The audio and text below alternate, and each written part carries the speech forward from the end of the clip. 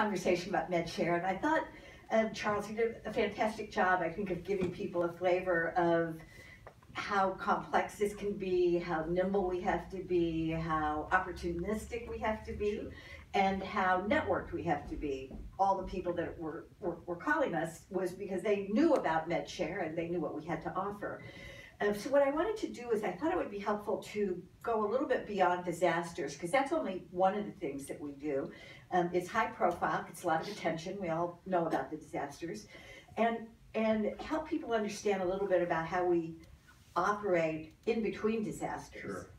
Um, so Charles, can you tell us a little bit about where does the equipment come from? I get it when you know people are really concerned about a part of the U.S., Puerto Rico, and the need that they have, and you know, wanting to donate supplies.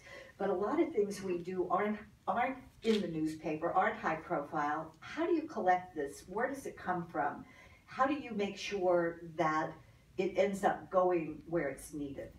No, I mean, great question. Uh, certainly our model has evolved over the years. I would say 20 years ago, we started out as what we call a surplus recovery organization, which basically meant we did a lot of partnering with local hospitals, uh, similar to what you have here. We continue to do that today, and we depend very heavily.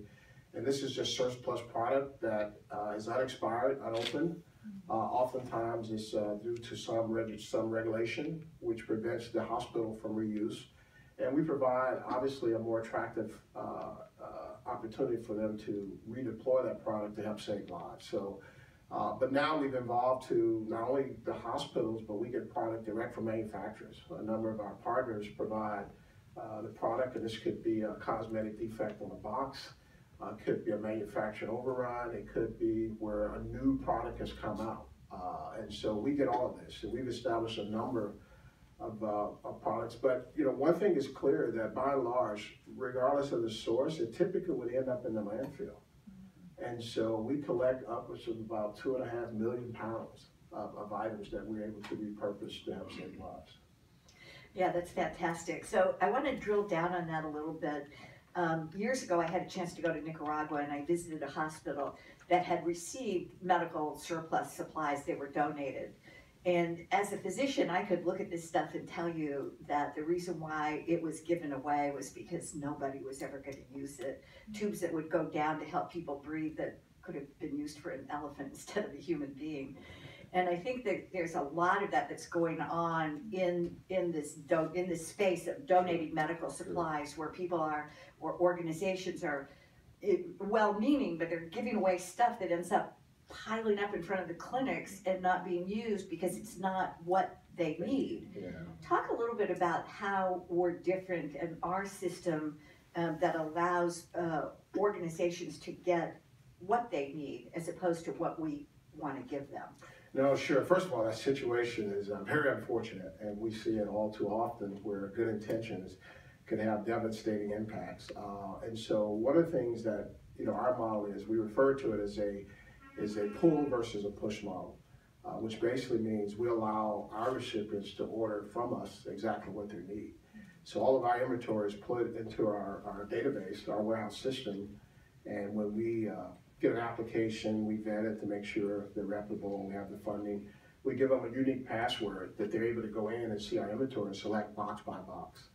And so a thousand boxes roughly, you know, thousand to eleven hundred boxes of supplies would go into the container. Uh, and then there's the equipment. Uh, the equipment is a little trickier because there's such high demand. If you can imagine, everybody would want all of the uh, biomed equipment. So we ask for their wish list. Uh, we take a look at it and we give that to an engineer, and he's evaluating that not only for our availability, but also their capacity to handle the donation. Uh, what we find often, they want the shiny toy, but they don't have the things they need to support the shiny toy. And so we make sure that that is going to be a donation that they can handle.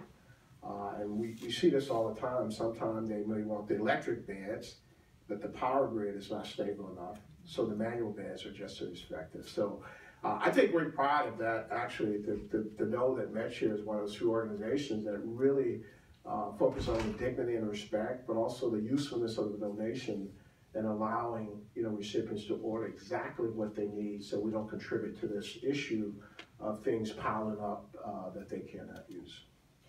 And uh, I think it would be helpful for people to know kind of uh, the variety of the shiny toys. Yeah. Uh, what kind? I mean, we talked about beds, but what else? What what other kinds of things are we making available to people? Yeah, sure. I mean, so so uh, what we found is what they want and what they need often aren't aligned.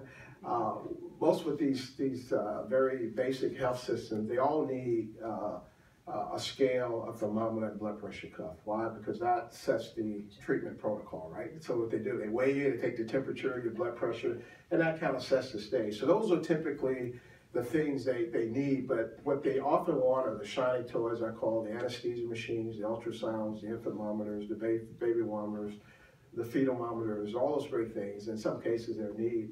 Uh, so we see a lot of that, but we also do wheelchairs, we do crutches, you've got gurneys, you have beds, and then there's a number of the consumable supplies like the uh, gloves, the masks, the shoe covers, the dressings, and things like that. So the array, if you name it, uh, if you've seen it in a hospital in some shape or form, uh, we have it. And, and like I said, it's, uh, we're just very appreciative of our donors who select MedShare to donate these items to because they know we're going to uh, put it to good use. So it's interesting because these things have great value. They're, they're valuable here, right. but they're even more valuable in some of the areas where we send them. Um, how do you know when we send, say, an anesthesia machine that it actually ends up going to the hospital and get, getting used for anesthesia and not getting diverted in, you know, into the black market? Yeah, I mean, it's, it's uh, obviously never foolproof, right, 100%, but we do do some things that I think uh, assures us that is happening. Number one, the upfront vetting uh, process that we use. So each applicant is vetted. We look them up to make sure they're reputable. Uh, we also do a lot of repeat donations, uh, which which helps with that situation. And we ask for feedback. So each of the recipients have to send back, you know, photographs, stories, receive back surveys. But the one thing I think we do a lot of, which is perhaps even more effective, is we rely on in-country partners. So we have enough partners in country that we would, you know, work with and they assure us, and they check and validate uh, that uh, the equipment and products are arriving. And, and, where we have funding, you know, our, our preferred model is to go out and do a pre-assessment where we would send someone out to the hospital to help them identify what their needs.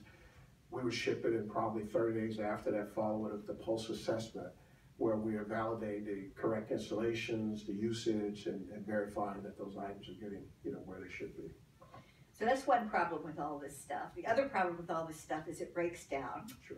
And um, and I think another unique thing, in addition to the fact that we have this ability to, uh, you know, barcode the stuff that we get and have people order what they want, uh, I think the biomedical program is another example of a differentiator. Can you talk a little bit about how that works and maybe give us some examples of where it actually extended the life in the field of sure. a shiny object that we were able to help donate. Yeah, and thanks for mentioning barcodes. I just glazed over that. But that, you know, a lot of people walk in our warehouse and they go, whoa, everything is barcoded, it's location, you know, it's, it's truly a logistics. And we have some great logistics partners that have helped us, you know, with that. But I think by far, in, in terms of ongoing sustainability, the notion of teaching people, you know, how to fish rather than continue to give fish, is in our biomed training program. It, it, really is because what, what happens with that equipment, we, we see that upwards of 70% of it, particularly in sub-Saharan Africa, you know, equipment goes unused because it either lacks spare parts, you don't have instruction manuals, or people just afraid to touch it, you know, whatever whatever it is, because they think they're going to break it. And so one of the things we provide through our engineer, uh, and he's gone out to a number over 35, 40 countries, where when we go out and we do, we conduct on-site training for about five days. Uh, so we'll, we'll ask them to bring all the broken equipment to the training and it mm-hmm. doesn't have to be at the hospital. So we actually train them how to repair the equipment uh, in the hospital. It is unbelievable. Uh, the often the other thing we hear is that even if they wanted to repair it, they don't have the tools.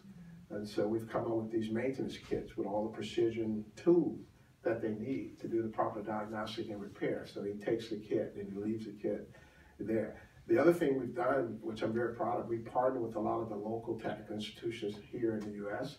to come up with troubleshooting guides. So we've identified the top 20 issues for equipment, and they have a pictorial guide of what to do. How do you properly diagnose it? How do you, and so we make that available, uh, with our shipments. And the last thing, and, and we're trying to expand even more, uh, Evan, our engineer, is often on, uh, chat rooms, right? And we try to do a lot of video, you know, conferencing in, in case, in case they need help. And, and we just launched, uh, uh, uh, a training in Ghana where we're gonna be part of a local, uh, training facility there that J and J was sponsoring, and they've invited us in to provide the biomed curriculum as part of that. So they're doing a lot of procedural training, and what they find out in doing the procedural training, they need the equipment maintenance cleaning, and so we're doing that. And I, I, just think by far, in terms of driving the long-term sustainability, because if you can train an engineer or a technician, in some case an end user, how to properly use, maintain, and repair, then that gift will just continue to keep on giving for long, long periods of time.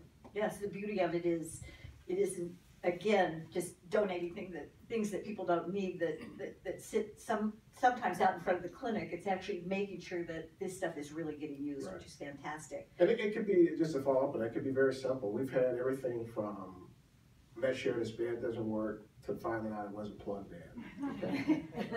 It could be sure this ultrasound is giving erroneous readings and they haven't cleaned the probe, right? Didn't understand you have to, you know, so, and that's why I say they want the shiny toy, but a lot of times unless you have the training, expertise on proper usage and maintenance, it's probably not the best. But it does increase the quality of care for that facility, so it's hard to say no sometimes, but you just have to continue, continue to follow up. So we've talked a lot about um, equipment that goes to uh, other parts of the world with, you know, our, our efforts in global health. But a lot of times people say, well, geez, why, why are you doing all this stuff in other parts of the world? Don't we have needs here? What are we doing here? Right. Yeah, this is a paradigm shift, you know, in terms of, you know, I come out of the global health space, So when I say global, US is included.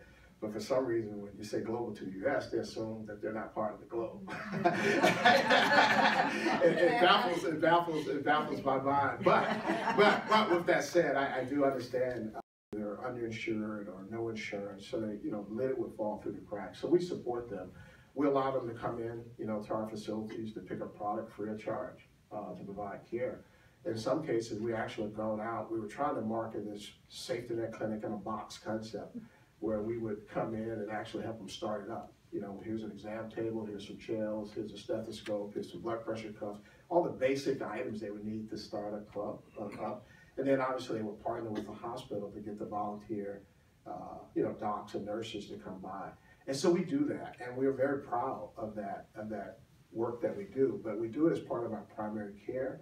So when I say global, uh, I, I'm meaning that's a part of it, but we have to be able to say it up front. And we want to expand, we want to do more. The need is just so great. Uh, and one of the things, and I try not to do is compare needs.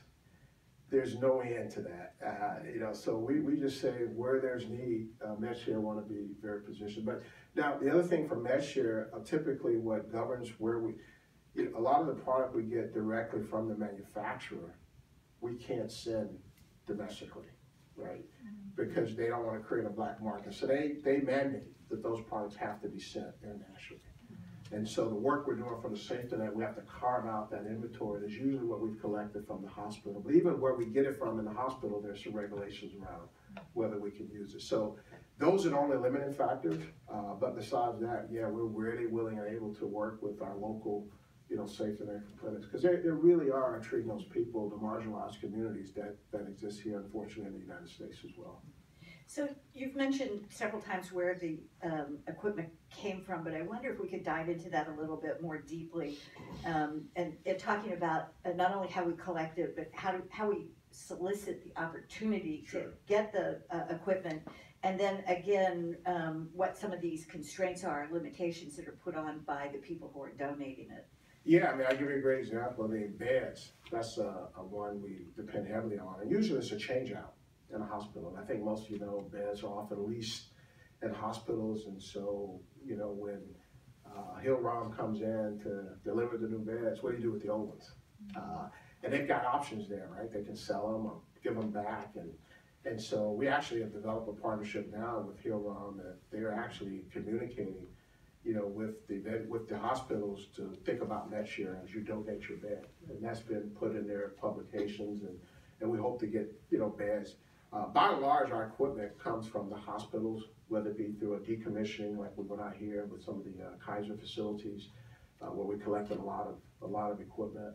Uh, and then the other thing is, you know, we always look at percent of useful life, uh, left on that equipment before they change it out. You know, with a little ingenuity and engineering, we can increase that useful life.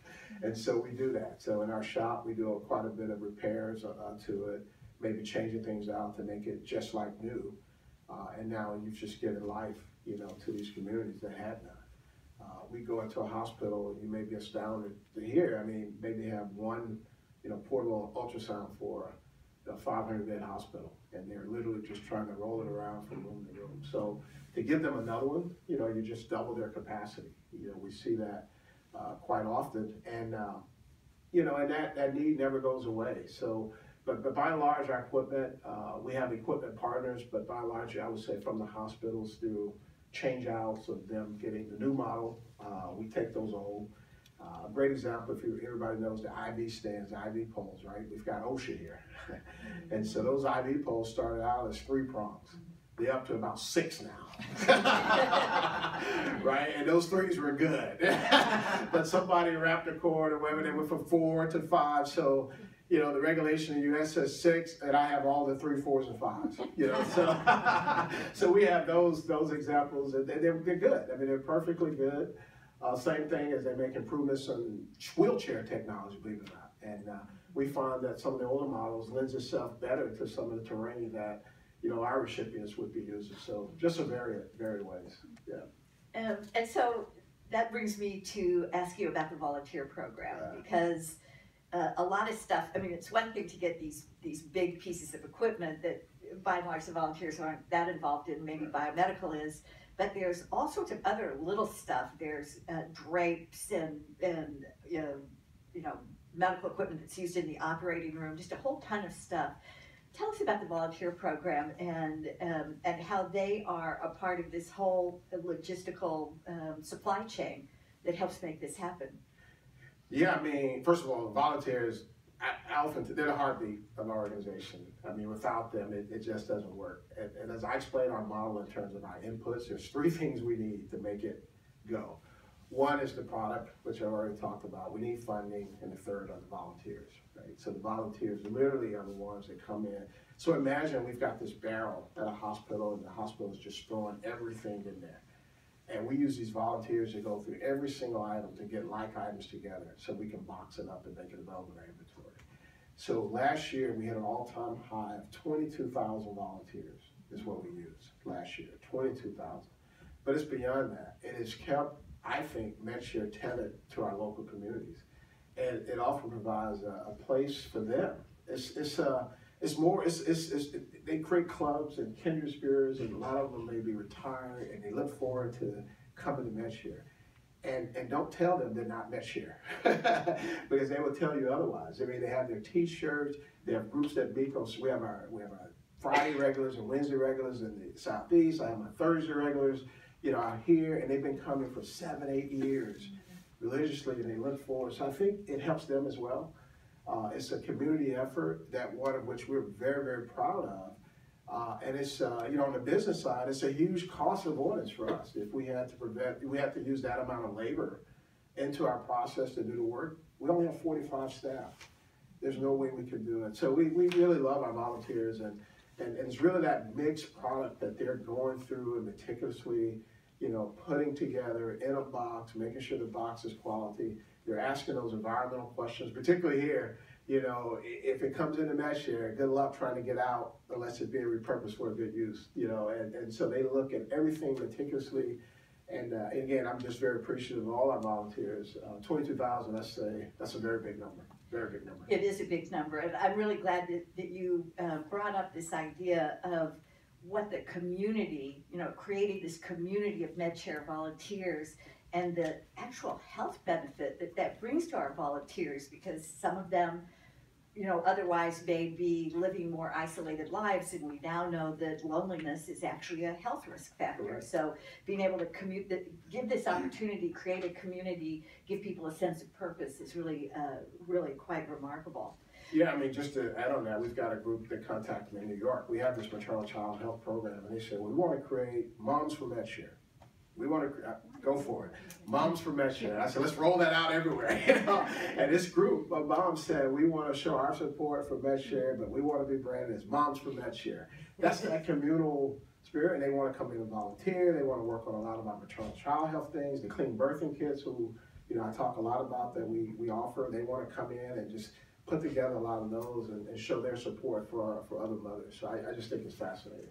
It is indeed. And since you mentioned the birthing kits, um, why don't you talk a little bit about the program and, in particular, how some corporations are are having, I guess, birthing kit uh, events Yeah. uh, at their at their uh, companies.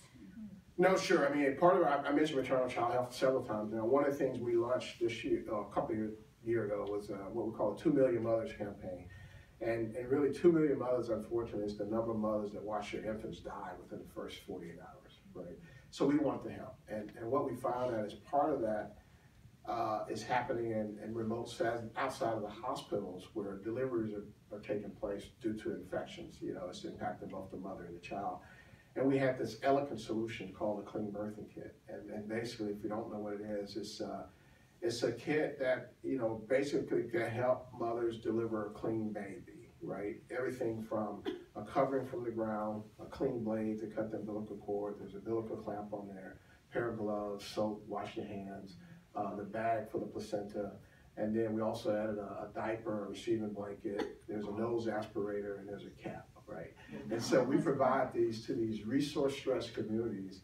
Uh, and I see Pat back there, my traveling partner from Ecuador, and, and, and Sutter, one of the local hospitals here, was the first that said, we want to produce the first one. So they actually put together an event that produced the first 800. So my challenge to the organization was, let's do 100,000 of these. I want to ship 100,000 and cut that number in half because it was like, uh, no, that was 10%. It was a million mothers that were, and babies died for this reason. So I said, let's do 100,000. So the first 800 were put together uh, from Sutter, and we built upon that. Now we, we have these uh, clean birthing kit campaigns that uh, corporations want to get behind. So they give us a donation, and we'll actually take all the supplies out uh, to an office-based setting, and they put together, as a team builder, they put together these kits. So uh, I think we're up to, so we're going past 800. Uh, the high now, we're up to 2,000 kits in one setting.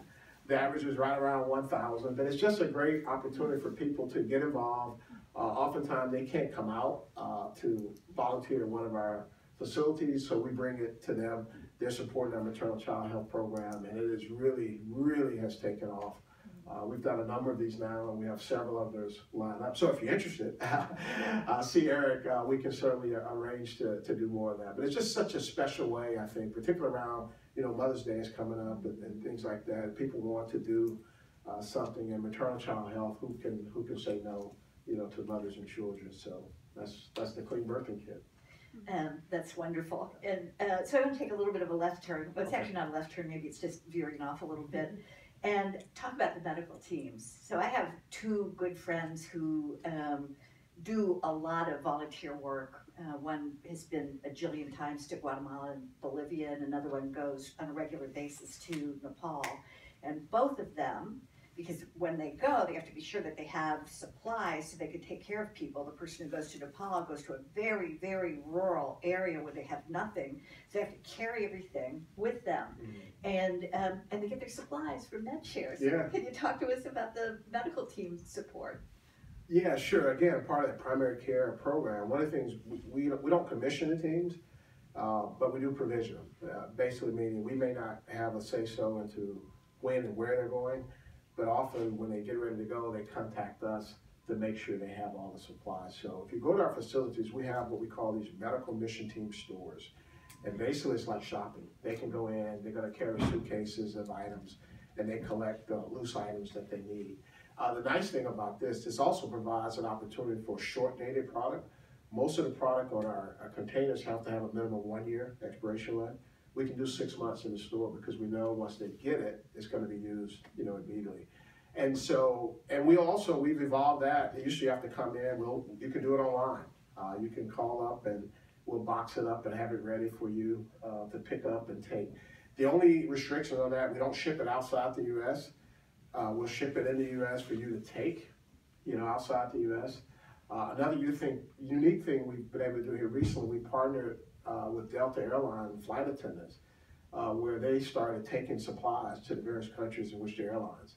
So they created a partnership with someone on the end, and they use their bags and everything. They stop by MedShare, they fill it up, and, and they take the flight. And we just recognized them at an event we had in Atlanta called Nigeria Day uh, for organizing that. That was organized by the Delta uh, employees. So it's just it's just another way, and that's that nimbleness I think of our logistic model. It's not confined confined to just a container. You've got these uh, medical mission teams that are oftentimes able to get into the even more remote reasons, regions that a, a container cannot go. And so you'll find them in, in a lot of different places that we probably never even ship, you know, ship to there to provide, you know, quality care. And it's interesting, and my friends who go will come back and say, oh, now I know I really need this other thing. Right. For example, my friend who came back from Nepal, recently said there was a huge need to have dental supplies, right? And a need to have electricity uh, to power some of the things that they were doing in the in the in the dental region. So they bring information back to us that can help us think about you know other things that we should be collecting or, or doing to support the work that they're doing. So I want to talk a, a little bit, Charles, about the environmental impact. We've mentioned it, but I want you to go into some detail about the magnitude of of what's happening when we ship this stuff. It gets reused instead of going out and, and filling up the landfill. Yeah, again, which is very fortunate. I- think I mentioned a number, two and a half million pounds It probably just bounced off the walls, but that's a big, that's a big number. And upwards of about a million pounds of that is diverted from landfills here in the Bay Area. So that's a million a year. Uh, so think about that. That's the magnitude of how much we're bringing in and repurposing it really to save lives. So what a, what a great story to be able to say, I prevented these items from going into landfills here in the US and I was able to save a life, you know, here.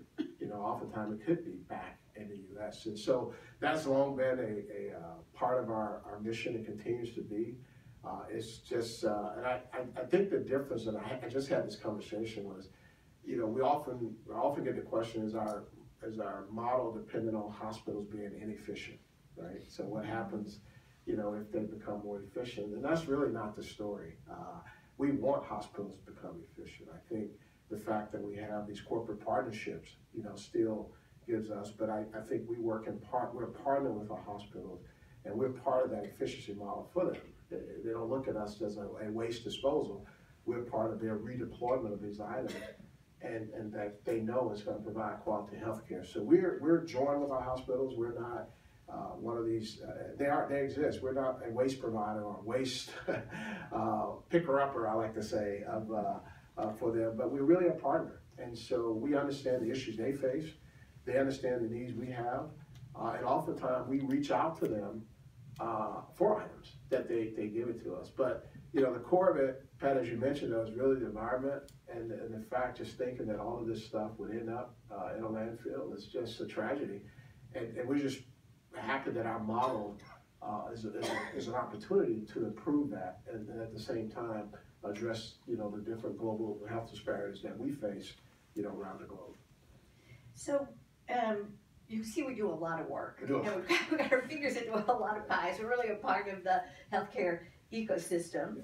Um, and that's a really good thing. But one of the things that um, people ask, usually when we ask them for donations, is well, you know, this all sounds really good, but how do you know you're actually making a difference?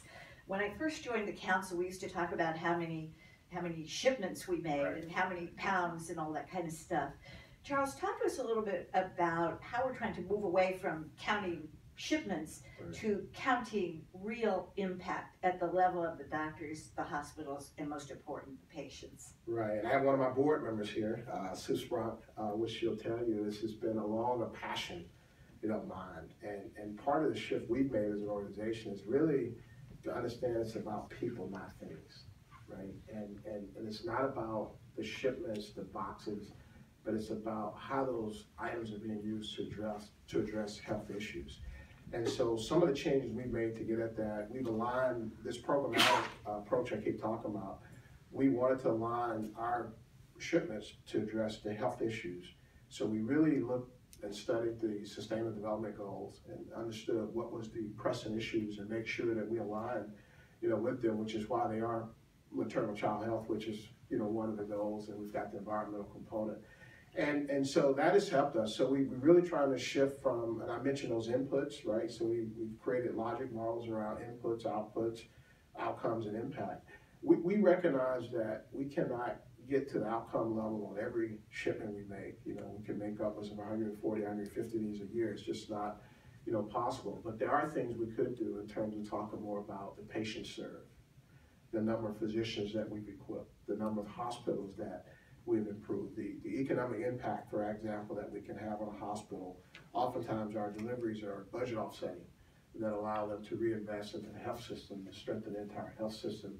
So we've changed our language. And then on occasion, when we can, you know, do a, a, a more detailed study, the one which we, we just completed in, in Nicaragua uh, with one of our partners, AMOS, where we combined some community-based health practices with uh, equipment and supplies in a remote setting that we were able to baseline, we were able to demonstrate we reduced more child mortality rates by 42%. You know, so so those are the things that, and you saw your reaction, right? That's the same reaction I had. That means much more to me than tell me how many boxes that I sent there to know how they were used, the impact it had on those communities. Now I can go to another community or even a funder and say, here's what we were able to do with high quality metal supplies, equipment addressed in this manner. Uh, and you know, and, and one of the stories that really impacted me out of that report and I am a storyteller, so bear with me. Uh, but one of the stories that, that impacted me was they, they, they, they told us that uh, there was a mother who had, she was pregnant and had uh, a number of complications, and we had sent them an ultrasound, and they were able to use the ultrasound to show that she was low in amniotic fluid, and they had to conduct an emergency C-section. So they got her help she needed and saved both her and the baby's life.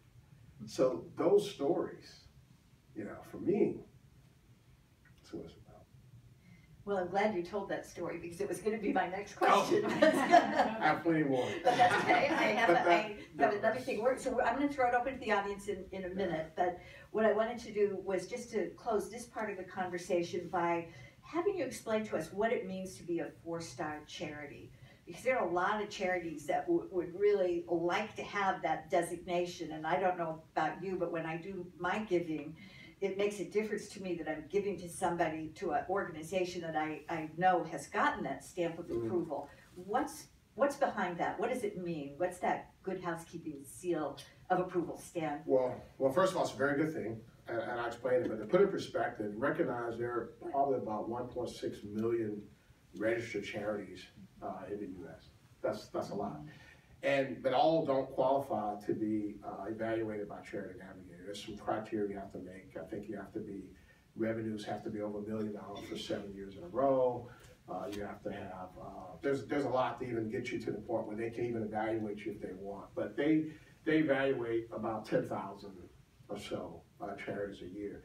And, and so, and they looking, they, based on what they're assessing us on, on our financial uh, stability, uh, transparency, uh, they're looking at us, they, that we publish a 990, we're open, we have a board, we have good governance in place, we publish our minutes, we have donor bill of rights. Uh, we're showing good use of, of our funds every year as it relates to putting it on our programmatic work. And, and so they have everywhere from a zero star to four stars.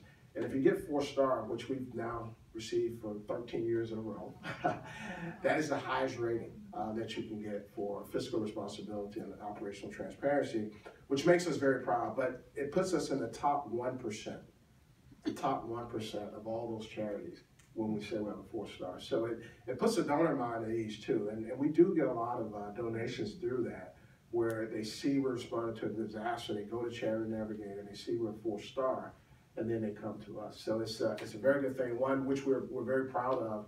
Uh, it takes a lot of work uh, to, to maintain that, but we just feel it's the right it's the right thing to do. And, and again, we just uh, are so proud to 13 years in a row uh, of showing such high performance as an organization. Well, it, it's fantastic. I, before we go to the questions, I just wanted to give you a round of applause. Oh, thank you.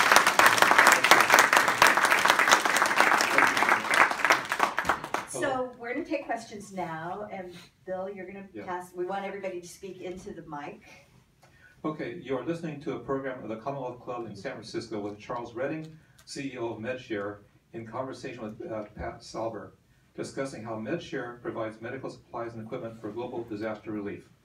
Uh, Questions now?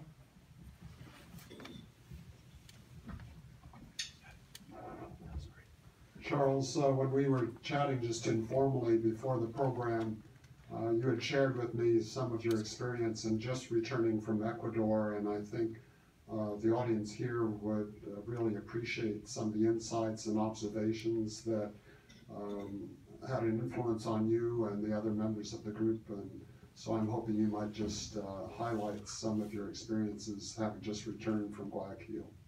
Sure, I mean, Pat was with me uh, from Sutter. Uh, we just got back, but uh, and I just wrote an article that I'll share. It's going to be, be published. Um, but I, you know, often so the trip. This is a trip we typically take. It's an opportunity for board members, council supporters, staff, you know, potential donors, to get a, a, a firsthand look at the impact of our work, and also to better understand, you know, current conditions as it relates to healthcare. So, you know, we just got back from Rock Hill, uh, where you know, I, as I stated, I was both uh, amazed, I mean, shocked, uh, intrigued, and, and amazed. And, and what we were shocked about, I was shocked to see that, you know, they had leprosy, they were still treating leprosy patients in the middle of the city. That shocked me, uh, that, that, that that still exists. Yet, the people we encountered in the clinic were so happy and very appreciative for all the support that people, particularly outside of uh, Ecuador, continue to give them. It was just an uplifting experience. I, I also shocked uh, to see that you had this girl orphanage where uh, up in the in the Andes uh, they had this uh, these girls which in some cases the family had decided they could no longer care for them. In other cases they were removed from the home because of abuse. And they found refuge in a teddy bear. Each one had a teddy bear as a constant reminder that they weren't alone you know and we really, you know, began to think about what could we do, you know, to support, you know, these young girls. Uh, I think, uh, you know, we were further intrigued, at least I was, that we revisited this remote community that was really centered around a sugarcane factory. It's called San Carlos. And this company had taken upon itself to provide quality health care not only uh, for the employees of the facility, but also their families and the families of the community. And so we got a chance to uh, witness a, a wheelchair ceremony where they had invited people that had been afflicted and they provided wheelchairs, which for them were a lifeline. And they gave them the gift of mobility, many of which had none. And so that I was intrigued by how a company can be a part of the health system and provide that, you know, that that that kind of help. Uh, you know, I was I was amazed too at the quality of some of the hospital we we saw. Uh, we visited some that were just as good as any I could see here in the U.S. And it had come through the government mandate that we would provide 100% free health care to every citizen of Ecuador, regardless of economic status. And they turned it over to one of our partners to run a run a public section of the healthcare. And what a phenomenal job they did. I mean, we went to a pediatric hospital, state of the art. They just finished a maternal child health hospital, state of the art. And, and they took great pride to always tell us that we're serving both.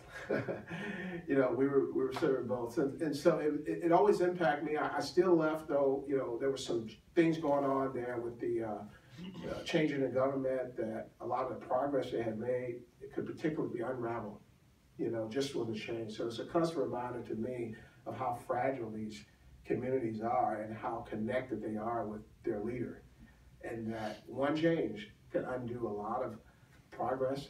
And, and also, you know, have my, I still wonder, you know, there's still the folks that we have supported during the earthquake that were in the very remote regions outside the cities, you know, just how much care are they getting and, and what role we can continue to play, you know, for that. So that, that was my perspective, Paul. Thank you for adding uh, that. I think I hit it all, Pat. It was probably more. First time you heard me talk about it as well, and you were with me. I, I wouldn't mind making a comment if you would mind. you have a mic? Uh.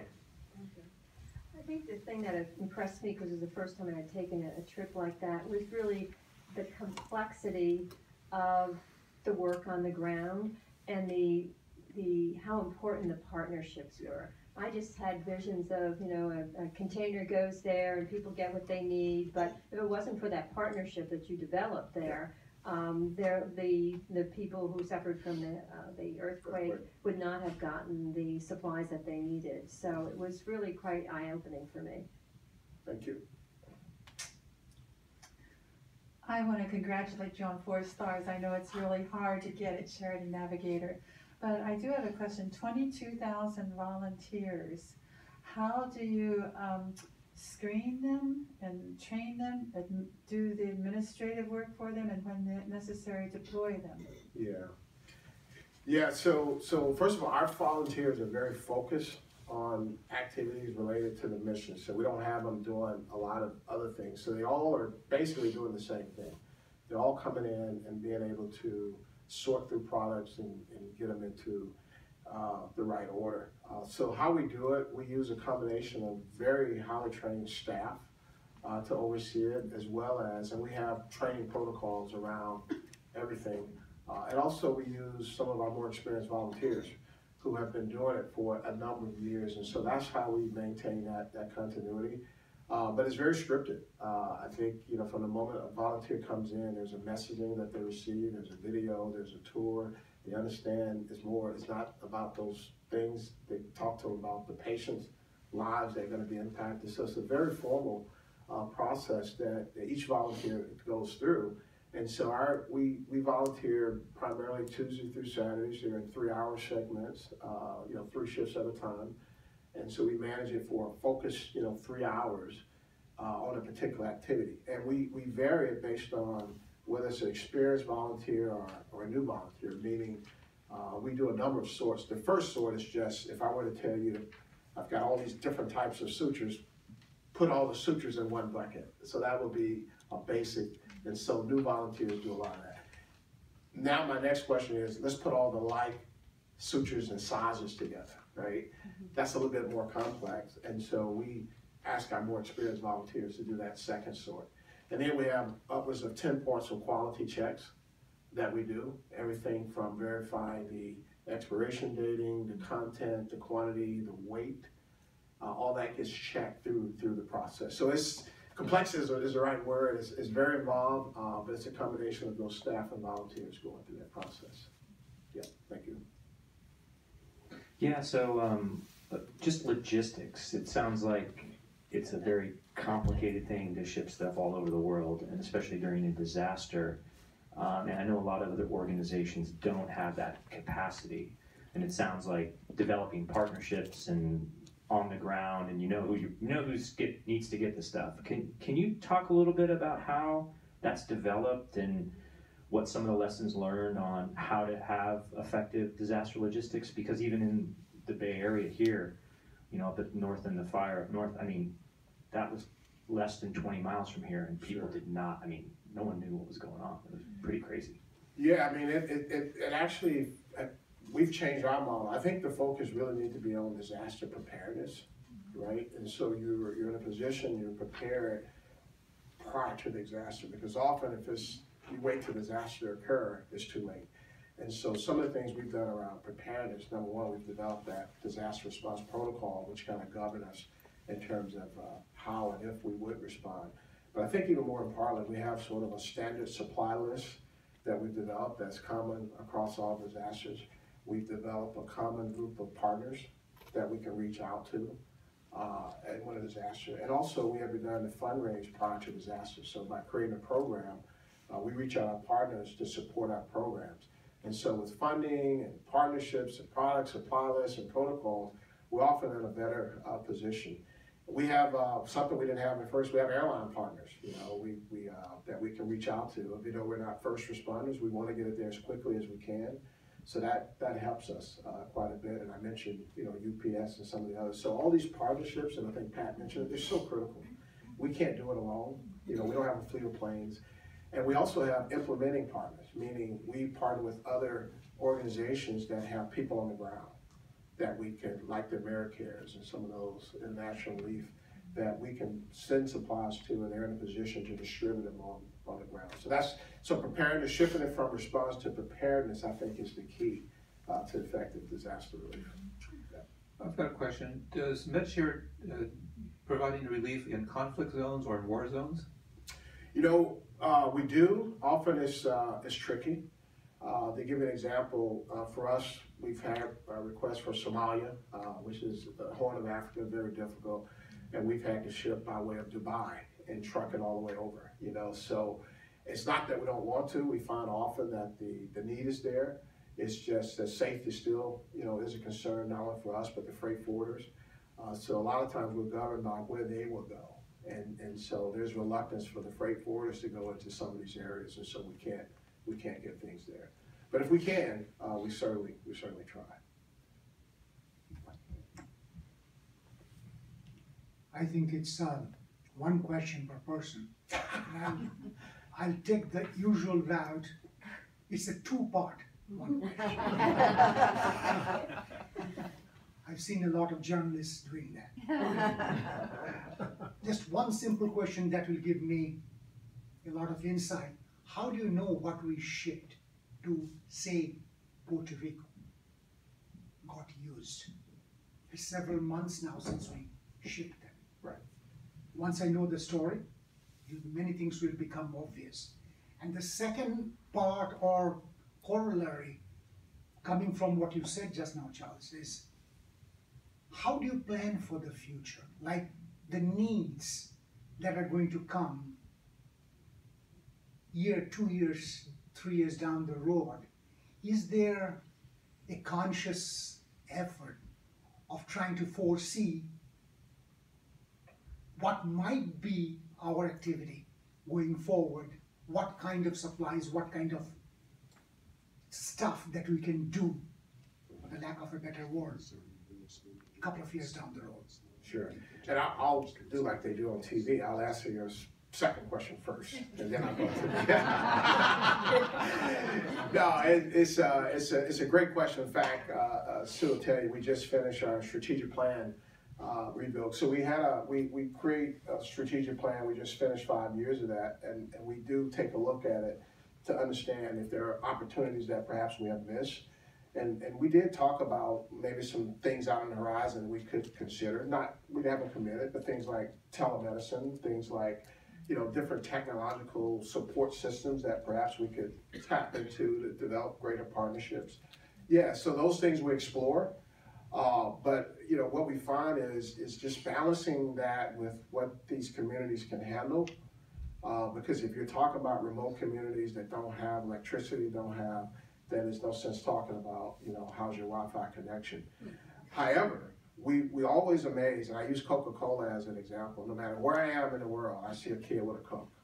So they figured out how to get Coke to the most remote regions, and it just happened in Ecuador. I, I mean, we had, I even had Coke Zero in Ecuador.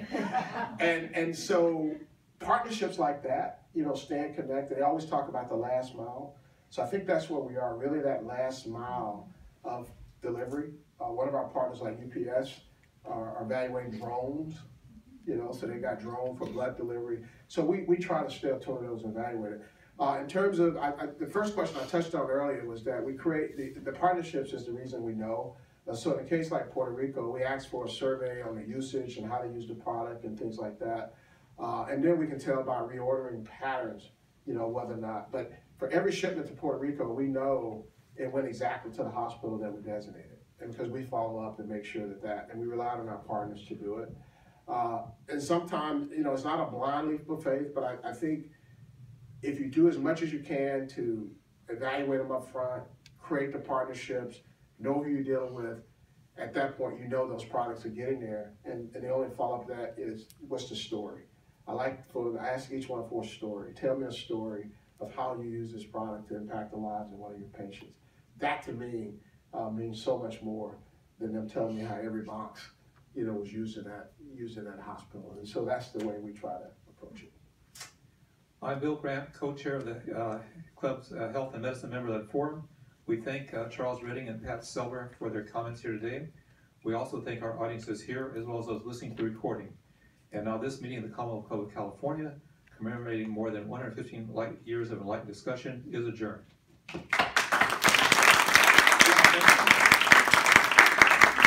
Still